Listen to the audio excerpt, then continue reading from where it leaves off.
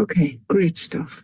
Okay, so the title of our presentation today is Collaborative Meaning Making, Participatory Arts-Based Inquiry as Engaged Research. And really, I thought it would be uh, useful to start with some of the background premises of participatory research in general before we move on to the arts-based approaches within this context. Um, and there have been some very useful um, comments that have been made and useful literature in terms of this particular approach. Um, and you can see some of the concepts here in some of the quotes that, that I've laid out for you. Um, the most one of the most important one obviously is collaboration. So it's a collaborative uh, approach that equitably equitably involves all partners in the research uh, process and recognizes the unique strengths that each brings. Uh, the research being a creative enterprise, which is really important, human uh, experience at its core, and the attention to the process within this partnership. Uh, the democratic process in co-creation of knowledge and then integrating these research findings into uh, various systems and practice um, and the overall aim to create fairer, more sustainable and socially more connected societies uh, in the face of increasingly complex uh, challenges. Um, and that's also seen as really important where uh, citizens themselves provide some of these uh, insights and solutions to these very complex problems. Uh, I'm sure many people are aware of different models of participatory uh, research in health and social sciences areas, and some of them are uh, listed there, and you can have a look at those in, in your own time. Um, the one that we're particularly interested in today is participatory arts-based research. So just to give you a little bit of uh, background in relation to that um, and some of the definitions really. Um, it's an approach in which people collaborate in art making as a way of knowing. So here we have the collaboration piece again, but added to that then is the art making as being a very important process in sense making or meaning making. Um, it combines features of participatory action research and arts-based research. And you might say, well, what's the, what's the contribution of arts-based research here? Um, well, really, arts-based research uses this visual, dramatic, or poetic practices as a, a, very valid means of inquiry in themselves, and also as a means of a, a, you know, providing divergent ways of interpreting and representing or representing uh, human experience uh, offering oppor- uh, uh, participants opportunities to inquire into their own life narratives and revealing insights that are beyond words um, and to be able to translate and express this tacit knowledge, which is really important in um, contexts where possibly people may have experienced trauma um, and do, maybe are not able to put words onto these particular experiences. Uh, and also people uh, from marginalized groups who you know, either prefer or have uh, to use other forms of, of representing their experiences um, or have difficulties in some ways, maybe with, with literacy or, or other modes of expression. So I want to just move on to give you some examples here of, of some of the uh, participatory arts-based research that I've been lucky enough to be involved in. And the first one is a collaborative inquiry between uh, a community project for women affected by addiction and poverty, which is a SAOL project, and our BSc student mental health nurses um, in DCU. And the background to that is that uh, we've had existing collaborative relationships, uh, particularly particularly between myself and the CEO of the SAOL project, uh, was Gary Broderick. And again, we worked very closely on this particular project. Um, the, the, background literature calls for meaningful uh, collaboration with service users in education and research. And also there's, uh, you know, increasing literature uh, recognizing the um, value of narrative and participatory arts-based approaches um, in a whole range of contexts. Uh, for this particular project, we used uh, participatory visual me uh, research methodologies uh, designed by Mitchell et al. Um, and in this method, uh, participants play a, an active role in both the creation and the analysis of the visual data. Um, and in this case, you can see there's a range of um, uh, types of data there are photography, vi uh, video, etc. In this uh, case, we used photography. Um, and I really like what Mitchell says here about the characteristics of PVRM, uh, where uh, she sees it as a mode of inquiry, a mode of representation, a mode of dissemination, and a mode of transformation. So throughout the whole research process, uh, this really kind of shows the affordances of this particular method.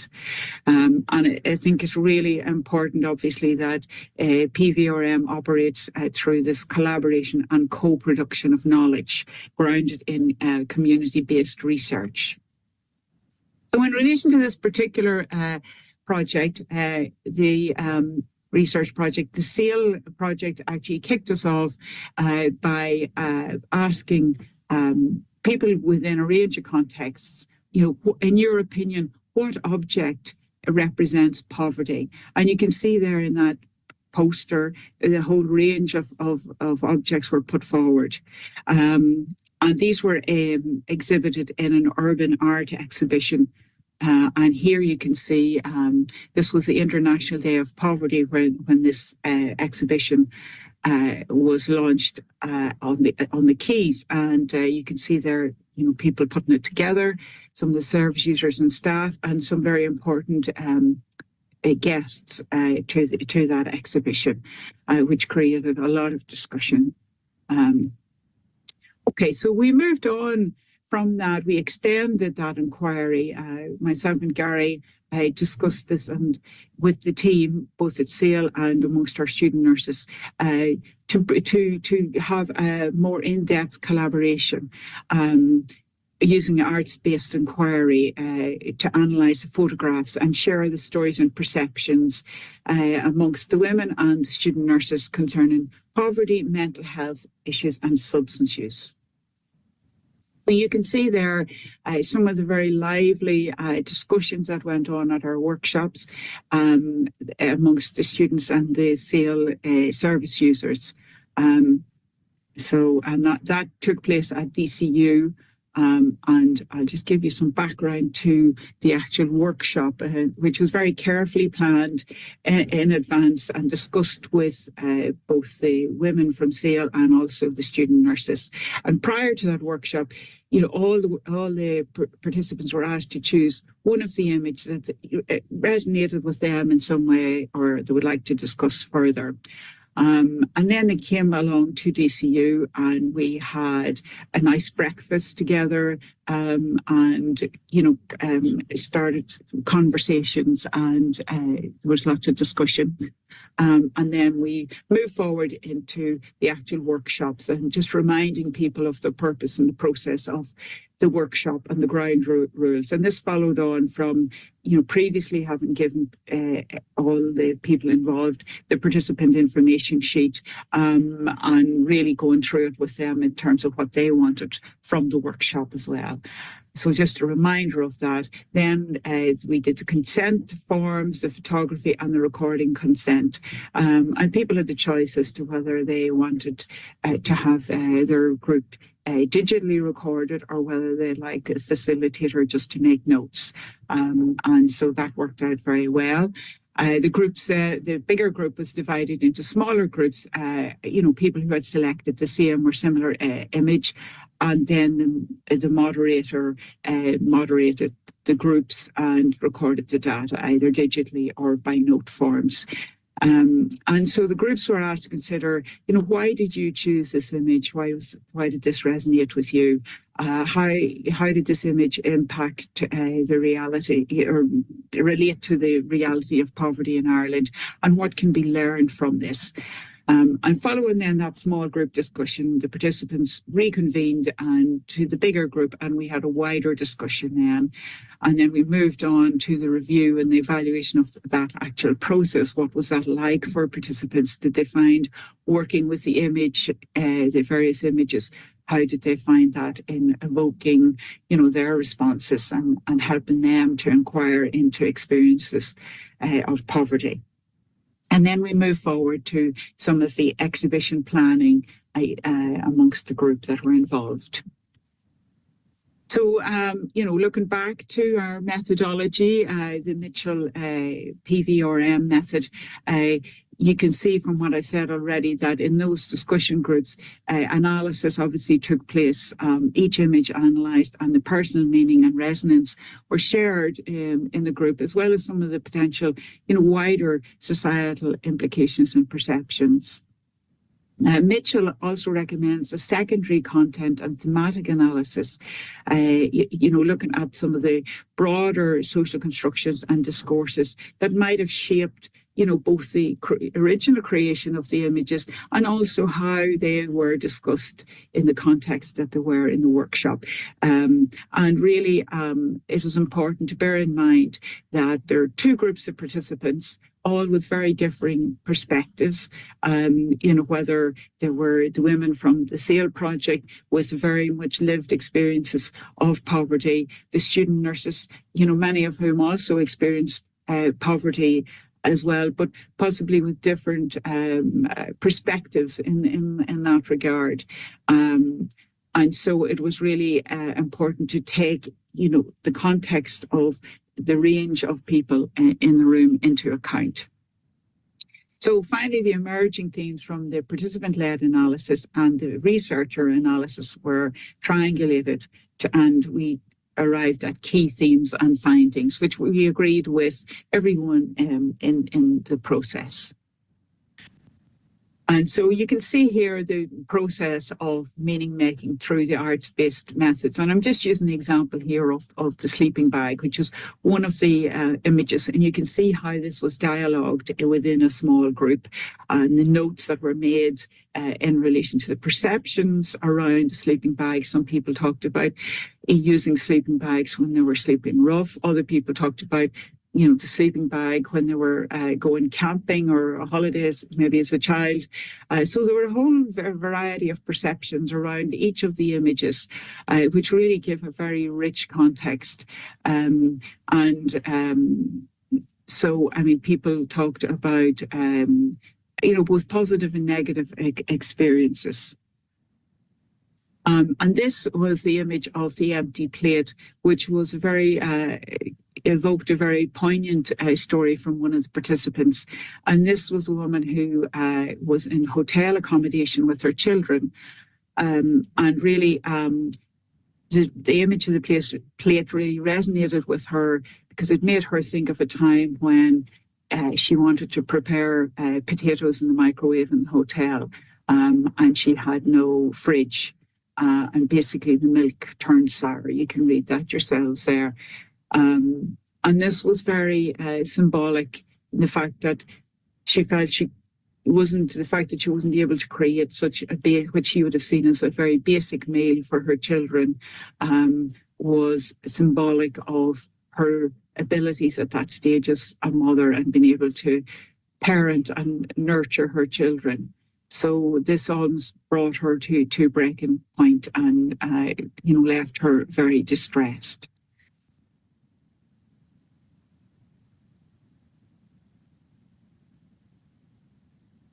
Okay. Um, now, this presentation is mostly about the actual process of participatory arts-based research, but I'm sure that people might be interested in the actual findings that we came up with based on the images and the discussions. Um, and just to, to, briefly go through the findings then, um, the group saw uh, uh, poverty as a stigmatized yet universal experiences. Um, you know, many of the people discussing the images um, you know, had is, often struggled with with with poverty, um, and yet tried to uh, put themselves forward um, in the best way that they possibly could. They felt that they tried to hide the fact that they were poor and put put their best side out, so to speak. Um, and yet, many people in the room had experienced poverty at some point in their lives. Uh, you know, whether it was women from the SAOL project or the student nurses, um, trying to manage um, living in Dublin. Maybe they were from the countryside. Maybe their their families didn't have much money to begin with. They were now trying to pay rent, uh, feed themselves, and all of that. We also saw that poverty was a gendered experience.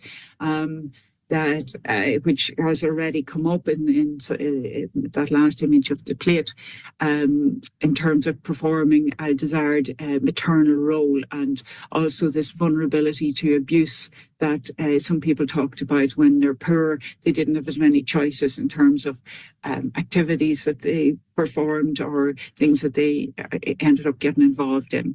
Um, poverty as trauma as well, especially the ongoing daily grind of, of poverty.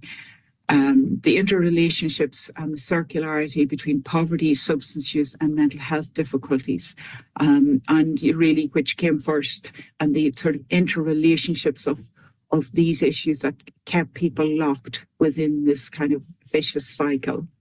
Um, the whole um, experience of transitory and residual poverty was also something that was quite interesting. Um, some people saw themselves as being um, temporarily uh, um, caught up in poverty, uh, but hoped that they would be moving on, whether that was that um, they would be getting uh, their degree in nursing and been able to move into a permanent kind of uh, employment uh, or or as moving on to better things, maybe getting a home uh, for some of the, the women in. Uh, but other people saw themselves as being um, I suppose, enmeshed really in residual poverty. It's finding it very difficult to move on, particularly the women from the SAOL project um, who had a, a, daily struggle with po- poverty and seemed to, at times to be unending. But also there was a um, a sense of resilience, uh, how people navigated uh, poverty and used very ingenious ways of being able to cope with undoubtedly uh, their breaking points from time to time. Um, it was very important to the group that uh, the findings were disseminated in a very collaborative way, uh, where people were able to have the, their voices heard. Um, so that extended to, uh, you know, quite a lot of work in the planning, staging and the delivery of the exhibition at DCU and also in the SAOL project. Um, and we uh, disseminated not just the photograph, uh, photographic exhibits, but also the kind of rich findings from the workshops. And they were placed alongside the actual photographs so people could read uh, what uh, the workshop participants had uh, thought about the um, the various exhibits. Um, and the actual research participants or our research partners um, from SAOL and the student nurses engaged the exhibition visitors in discussion regarding their responses to the images and exhibition themes. And you can see here, um, you know, some of the um, women from SAOL and all the the uh, other research participants getting the um, the work together uh, for the exhibition. And here is a dissemination in, in action here where the speakers are all lined up to discuss the findings and also their uh, experiences of actually participating in, in the research. So, what were the benefits really for uh, people involved in this project? Um, well, really, um, you know, both uh, all of the participants talked about the their sense of being able to contribute to the debate on this topic and also to the learning of student nurses um, and and the people in SAOL. Um, and and arts-based approaches was a really good methodology in this regard. Uh, that the images were seen as a great way to get over barriers and shyness, and that everybody was able to share their opinion and contribute to this debate and the discussion through being provoked, if you like, by um, the art images or the photographic images. Um, um, so, so developing these kind of understandings as well uh, was seen as a really positive outcome of the research as well. Um, you know, there are uh, t- um, two groups, I suppose, coming together uh, who maybe wouldn't have had that much knowledge of each other's worlds prior to this research. Uh, and there was a lot of uh, notions, I suppose, each group about each other that were dismantled in this process. Um, so, so that was really powerful, um, and getting to know each other's worlds a bit better. and you can see that in some of these quotes here, um, you know, where people from SAOL talked about, um, you know, realizing to a much greater extent that the student nurses also experienced poverty, uh, which they hadn't really thought about before. Um, um, and you can see that in the quotes. Uh, you know, in one of the weeks he didn't have money to fill up his shopping basket. You know, they're like every students are like every normal person, just like us.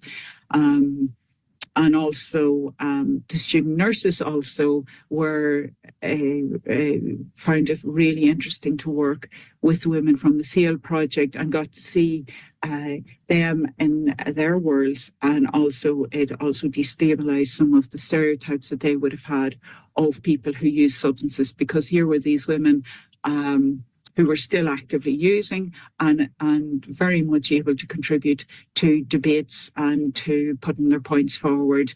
Um, so it really helps students to see that uh, the strengths that there are of people in all sorts of circumstances. Um, and uh, another really positive outcome was that um, the um, women from SAOL who had perceived the university context as, you know, very much a, as an ivory tower and with them in their context of poverty um, and maybe um, missed opportunities at times saw the universities maybe uh, as being out of their reach, whereas this really gave them a sense that there is a place for them within the university. They worked really hard with the students and with with the whole team getting this whole project together. Uh, and a really positive outcome was that uh, uh one of the women uh, resumed her studies. She had been undertaking a degree um, at DCU, but had unfortunately given it up. Uh, but now she resumed her studies as a result of this project. So that was really good. So that's uh, this particular project. I've just gone into a bit of depth so that you could actually uh, learn a little bit more about the process. Uh, there are a couple of other short uh, projects that I've just written a short, a couple of short notes about, uh, and I might just fly through them just in the interest of time. And it's just to give you um, um, an alternative uh, view of, of, of, some other studies that use possibly different type methodology. Uh, and the first one is um, a, uh, the adolescents embodied experiences of living with chronic disease, uh, kidney disease. And this was um, uh, Colleen O'Neill, who's uh, I supervised for her PhD project with Veronica Lambert as well. Um, and this was a really interesting uh, group of participants, uh, adolescents uh, who are experiencing uh, chronic kidney disease. And when you think of adolescence in puberty, uh, I'm sure people will be well aware of, you know, some of the challenges at this phase of life where young people's bodies are changing through through puberty and you know finding their trying to find their identity in lives between childhood and adulthood. Um, and this is made much more complicated and challenging when young people are experiencing chronic kidney disease uh, with all the um, difficulties that a disease process has put on their body, included stunted growth um, and a whole range of other challenges, tiredness and um, and other symptoms. Um, and then the medical treatment that is involved um, in, in this disease, for example, uh, kidney dialysis and also um, kidney transplantation, which once again disrupts the body integrity. Um, and yet there's very little research that examines this embodied experiences and these coexisting challenges, so to speak. Um, um, so we decided that um, participatory arts-based methodology would be really uh, useful for this um, in the form of body mapping, uh, which is a method that was developed by uh, Jane Solomon uh, in the context of uh, people in Africa with HIV and AIDS. Um, and it involves the creation of uh, life-size body maps where each person creates their own body map, um, defining uh, how uh, they feel within their bodies and their social contexts. Um, and they provide rich uh, visual narratives of experience. So we thought this would be a really useful methodology for, with the particular adolescents involved here um, to really help to sort of dig down into that embodied experience. And that this is the beauty as well of arts-based participatory research, because we couldn't think of any other methodology by which you could actually get to this level of depth about the uh, the experience, the actual lived experiences within people's bodies of disease. Um, and indeed, this uh, particular method um, did um, result in very uh, rich findings. Uh, young people were able to um, visualize and tr translate and communicate through art um, their experiences of profound uh, thirst and tiredness, body leakages, body disruptions, and the whole colonization of the body by technology um, hosting an alien body part in adolescence, which you know must be quite freaky um, um, in terms of transplants. Um, and these uh, the things that were never haven't really been uh, pre previously considered or, or researched. Um, and this uh, manifestation, I suppose, of these experiences uh, were really powerful for the adolescents themselves, first of all, because it really helped them to work through some of the things that they are, were experiencing but weren't able to put words on. Um, and also uh, for the there was an exhibition of the body maps in Temple Street. Um, so healthcare practitioners were able to look at these body maps and, and really understand what thirst might feel like, what the experiences of these young people was like, and helped develop empathy and really increased insight uh, and develop uh, really sensitive approaches to care. Um, so that was was really valuable. And you can see here uh, one of the, the body maps, and you can see how much work has actually gone into creating this body map from the young person involved. Uh, I know Colleen was working with each participant, you know, for maybe, you know, five or six um, sessions of actual artwork, asking uh, prompt questions. And you can see some of the prompt questions down the side there and some of the findings that were coming out from that. Now, they're discussed in much greater deep uh, depth in uh, Colleen's thesis, which is on DORAS, if anybody wants to have a look at that. Um, another uh, project uh, that we were involved in uh, was Love, Loss, Life, and this was with Nicola Keeley, um, who's a theatre director, and uh, a group of actors with intellectual disability who formed the Rhythm Room Theatre Company.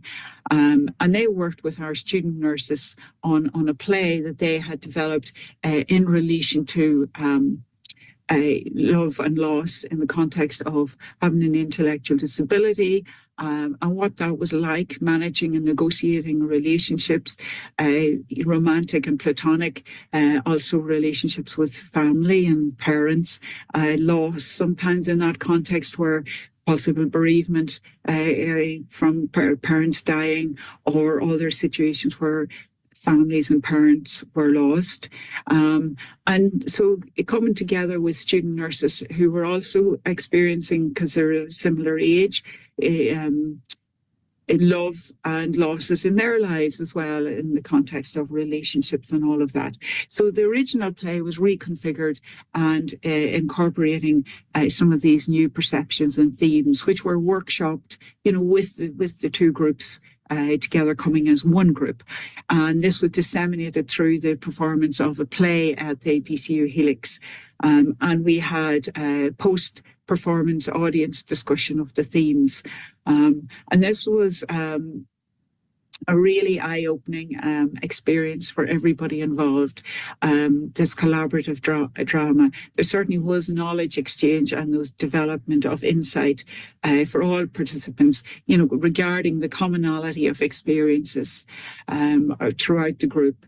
Um, and uh, audience members and participants' families who attended uh, the the uh, the play uh, also got an awful lot from it and was a really lively uh, post uh, production discussion. Um, another really positive thing that came from from this uh, piece of participatory research was this disruption of habitual power dynamics. Uh, as nurses, um, there's often this um, very, I suppose, paternalistic uh, approach because often working with vulnerable groups, people with illness or disabilities. Uh, there's a, a, kind of power dynamic that develops uh, where one group is dependent on on another, um, and this uh, really helped to disrupt that uh, sometimes harmful dynamic where the actors were often much more in charge because they had the uh, theatre expertise and the students were quite anxious about performing. So it really usurped uh, some of the that habitual dynamic. Um, so that was that was really interesting to observe as well. And so here are some images from the, that uh, production, um, and they they the production and process and also the uh, the performance itself and then the the the uh, post uh, performance wrap party there. You can see the pizza party we had at the end Okay, so just to move on and talk about some of the challenges and opportunities of uh, participatory arts-based research. Um, trust building is really, really important uh, in terms of developing relationships with everybody involved. It's non-traditional research and requires, you know, a deeper level of engagement uh, than customarily might be the case from participants uh, or research partners. Um, and, you know, we shouldn't underestimate the, the time and the work that there's involved in establishing those partnerships. Um, often we're working with marginalized and or uh, so-called vulnerable groups. Um, so it's really important to preserve the agency of everyone involved. There is a risk of tokenism and paternalism, um, you know, given the history of research where, you know, there's, uh, especially in more conventional research, it's, you know, the researchers and the subjects. Um, um, ensuring, having said that, um, it's really important that people who are vulnerable or people who need supports, um, that these supports are in place, whether that's emotional or practical support or research training or whatever is needed. Um, and also the facilitator needs to be quite skilled because, you know, you're working with a group of very diverse people ethical considerations are hugely important, uh, especially in relation to whose voice gets heard, um, that people are working together as a partnership. Um, and even in terms of some of the terms that we use, I mean, I'm talking in this presentation about research participants, but really they're research partners. Um, and sometimes the terms we use uh, positions people as well. Uh, we need to look at research roles, uh, what our roles are occupied, what kind of rewards um, are, are, are there for, for everyone participating in, in the research. Uh, traditionally, that tends to be academic papers, uh, all of that. But in these kind of contexts where it's much more uh, devolved, if you like, uh, people may not see academic uh, papers as being appropriate to them you know, whether they have other preferred ways of disseminating disseminating research um, or they have maybe literacy difficulties or whatever. So a very democratic uh, process of uh, dissemination needs to be involved. Um, whose voice gets heard is, is, is hugely important, especially in the uh, context of marginalized groups. Uh, we talk in uh, ethics around uh, informed consent, anonymity, GDPR, um, confidentiality, all of that. Uh, but in this research, if we're looking at uh, people as equal research partners, many people want their voices to be heard. They want to be identified within the, the research. They want to own their own perceptions. So, uh, and have these out in the public domain. So we need to think about, you know, what, what ways can we work with ethic committees um, and the whole ethical care of participants um, so that so that the, these are accommodated within the research. Um, need to have flexibility in scheduling and making the most of time together. And then some methodological considerations here as well, uh, developing theoretical and pra practice frameworks um, so that best practice can be achieved in uh, participatory arts-based research. Um, I've already mentioned about dissemination there, so I won't labour that point anymore. Um, also then achieving uh, resources for uh, PABR and the recognition of, of the value of uh, PABR, uh, you know, across the academy um, and, uh, and in community contexts as well um, as a very powerful method of knowledge gener generation and achieving collaborative understandings and actually developing uh, this evidence base. Um, so just uh, really to conclude in terms of the uh, implications for uh, engaged research practice here and what would we recommend uh, from a participatory arts-based perspective. Uh, well, we think it's essential to have ongoing dialogue and collaboration with a whole range of people who are invested in developing this engaged research and in participatory uh, arts-based approaches in particular. And we need to use these collaborative practices that ensure equality of engagement opportunities and voice, that widen perspectives, combat stigma, uh, and stigma among researchers as well, um, develop well-informed, effective practice. And just finally, um, participatory arts-based approaches offer powerful methods of engaging diverse groups, exploring perceptions and facilitating facilitating sharing of experiences. This grassroots dialogue and collaboration is fundamental for developing sensitive, creative, socially engaged research practice and knowledge development. Um, so that concludes um, our presentation today. Um, I'd like to thank you uh, very much for your attention. Uh, I hope you found uh, some of that useful or interesting for you in your practice. And I wish you all the best. please do feel free to contact me if you want to talk any more about it or dialogue further. It's Briege, B-R-I-E-G-E dot K-C-C-A-S-E-Y at dcu.ie. Okay, thank you very much. All the best. Yeah, that was that was excellent, Breige. Thank you very very much for that, uh, and the video worked perfectly. Uh, now, oh, what's going on here? Now, uh, I've I've put a message into the chat box there, but uh, as we were coming to a close of the presentation, but I just want to reiterate uh, that. Oh, are we going again here, Breige? No. Uh, if you'd like to stop sharing, and then you can uh, come back onto the screen yourself. Um, so just to reiterate, we have a short uh, Q Q and A session now, but also as well as questions, feel free to um, share some of your own experiences or points of view or just uh, make a comment uh, if you wish. So the floor is open now, as well as the chat box, if anyone has any questions or things they'd like to share. I do have a few questions myself, but I always like to open up the floor first before I take over because I don't want to speak too much. Um, Francis Ward has asked, are there any examples of the use of music uh, in PABR? Um, you have anything to share yeah. about that, Breige? Yeah, okay. Yes, absolutely, uh, Francis. Um, there's been some uh, really interesting uh, work done, uh, especially maybe in relation to um, choirs, maybe with people with dementia, in terms of um, how they use music and they uh, participating in music generation.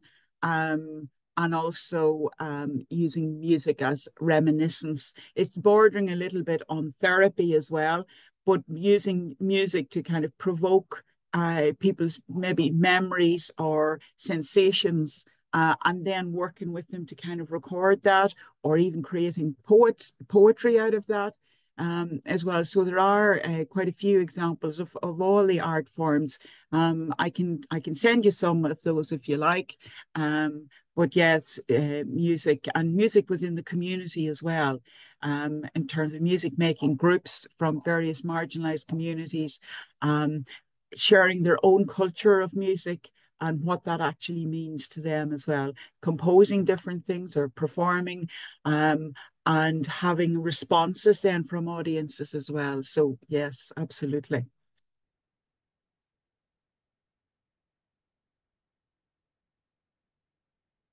Okay, so there's a question from Jackie there. In the first studies study, are the participants involved in the study design phase or just uh, from stating uh, or starting or creating the objects? Um, they were involved initially, yes, uh, Jackie. They um, developed the, uh, uh, the photographs themselves. They carried out their own piece of research, which was great, in asking uh, people, members from the general public, you know, what did they think of uh, when they thought of poverty.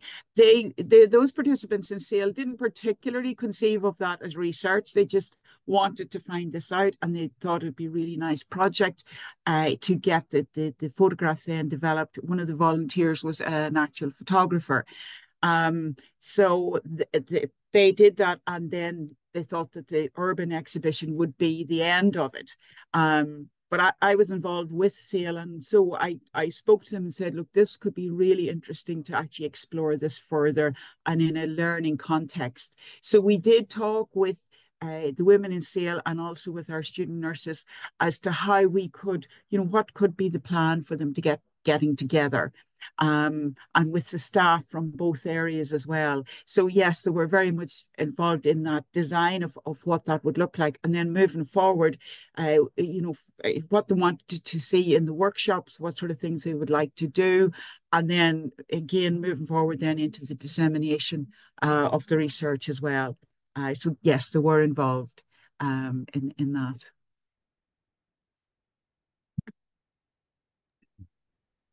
Excellent. Sorry, I I began reading that out and realized I was on mute. um, uh, no worries. Okay, no, excellent. Are there any other uh, questions? I did the uh, Ashling Silk uh, Silk did the participants take the photographs uh, in the project you mentioned, Breige? Okay, yeah. Um, they no, they didn't actually take the photographs. It was uh, one of the volunteers in the SAOL project or one of the staff members actually, who you know was a professional photographer, uh, which was which was great for, uh, to have have it. But but what the women did was they were uh, involved in asking the questions, uh, interviewing people, or just asking people on the street, doing like a vox pop, uh, saying to them, you know, when you think of poverty, what image comes to mind? And people might say, oh, a sleeping bag or uh, a needle or an empty plate or a shopping trolley. So then they made notes of what people said. They brought it back to SAOL, and the most popular uh, images, I suppose, that were identified. Then that they made the decision, right? Let's let's get photographs of these. So uh, Ray is the name of the per person who was um, taking the photographs. So the women, you know, participated in the, you know, kind of getting the photographs together, and they were, you knew the photographs very intimately because they had them printed out on big uh, cardboard, and they fitted into like, you know, the bread fan type trays that you might have seen in olden days, and so they're very innovative. They used that then as a, the background, so they could go out in all weathers. Um, so they were very much involved in in in uh, you know kind of erecting the exhibitions in the different places and answering the questions around the photographs. Um, so yeah, so it was a mixture, but they didn't actually physically take the photographs. Okay, excellent. Um, did the women did ask? The women, oh, you go ahead. Sorry, sorry. um, did the women ask the general public or concentrate on those experiencing poverty? Um, yeah, uh, the women asked a range of people, uh, like even their own relatives, other people maybe that were in poverty, um, through a, a, load of different social classes, like people on the street, uh, you know, that would be walking up and down maybe Amiens Street where the project is based. Um, and uh, you know a range from different social classes as well. So uh, yes, they it, it, was it was a, a, a, range of people, both those actually experiencing poverty and people who uh, may have had been in poverty in, at different times in their lives, uh, or maybe have worked with people in poverty. So it was a range of people.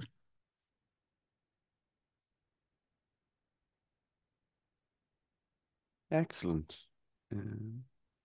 Yeah, you're very welcome, Ashling.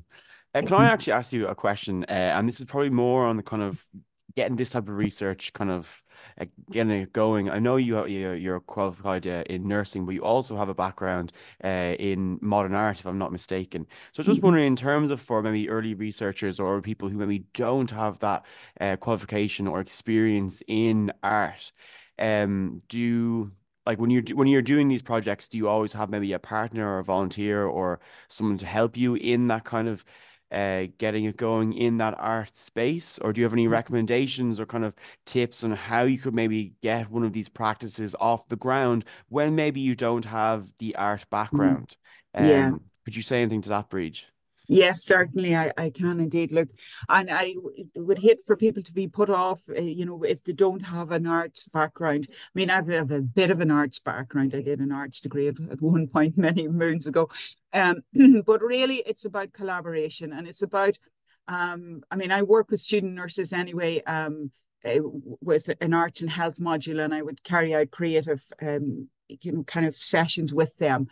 Um, that's that's one thing, but most of that uh, uh, collaborative participatory arts-based research, I wouldn't have necessarily needed to have a load of arts experience, um, because it, the the key is to connect in with people who do have that experience and are interested in in working. I mean, you you can see there that, uh, especially the Rhythm Room project, um, that was uh, with the theatre director, uh, and I've done worked with other, uh, you know, community theatre. All you need is uh, to know somebody and for them to be prepared to work with you.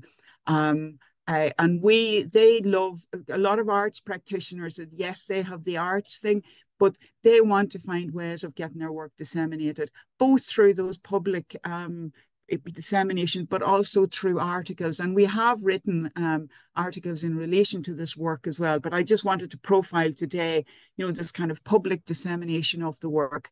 Um, and people, you know, as participants can be involved in the academic side if they want to as well.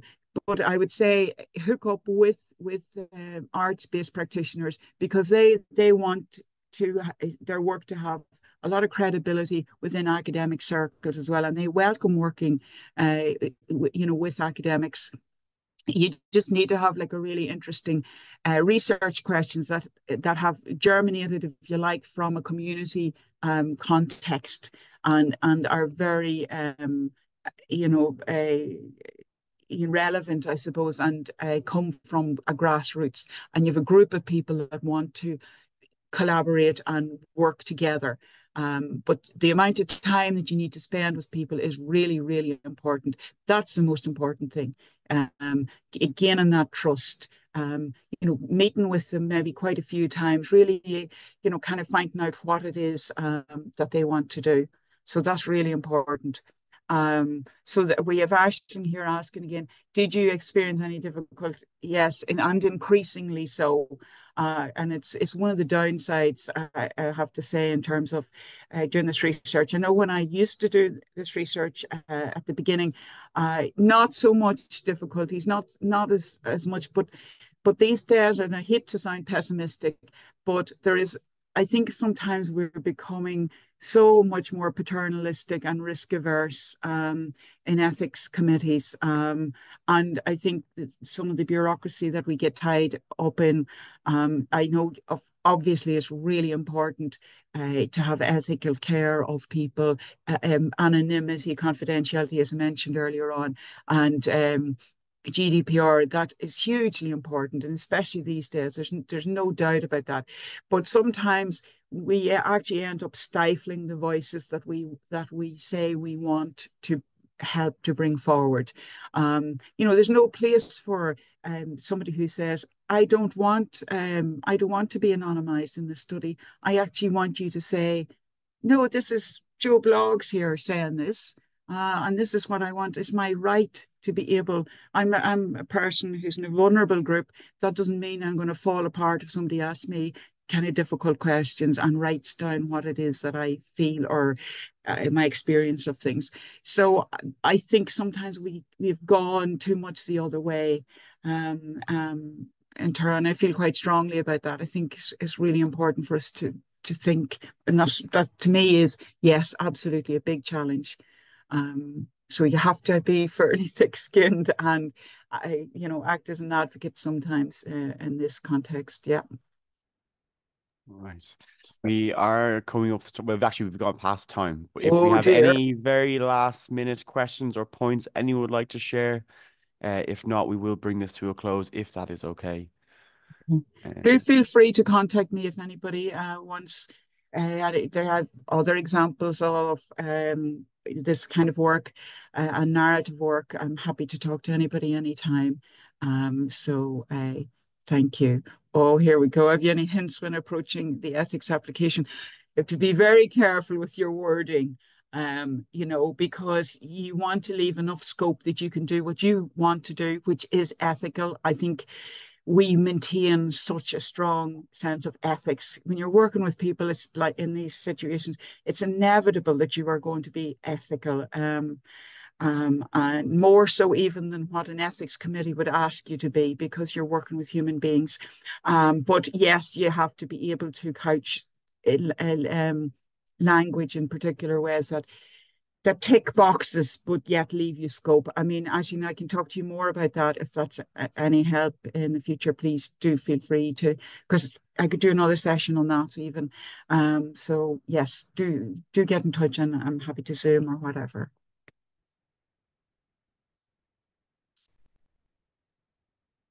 Okay, get in touch, actually. Excellent. So networking is happening. Yeah, Uh, yes, I will have to bring this to a close. Thank you very much, everyone, for coming, Happy and thank Christmas, you, Breige. everybody. Yes, Okay, Merry, hi, Susan. Merry Christmas. Uh, Okay. thank you very much, Breige, and I will see you Thanks, all in the new year. Okay, all the best, folks. Happy Christmas. You too, Breige. Bye bye. Okay, okay, bye. So much. Bye bye.